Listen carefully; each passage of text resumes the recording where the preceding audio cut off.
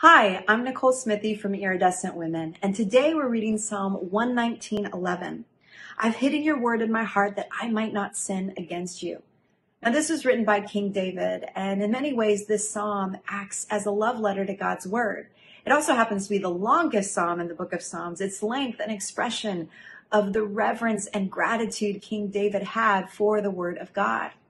And in this particular verse, David shows us his dependency on God's word because he doesn't just read or study God's word, but he says that he hides it in his heart. Now, that word hide in Hebrew also means to treasure, to reserve, to protect, which leads us to ask the question Do I have that same active and passionate approach to God's word in my own life? Do I treasure God's word in my life? Do I stockpile God's word in my heart so that I'm ready to navigate the many ups and downs that come my way and the temptations that I'm facing?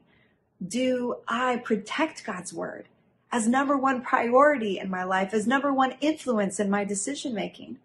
Or do I approach the Bible with apathy, minimally, inconsistently in my life?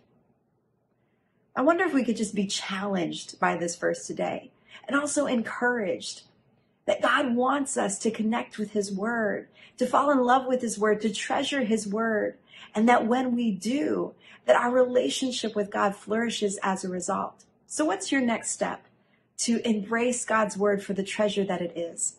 It might mean committing to watching the verse of the day every day on YouVersion.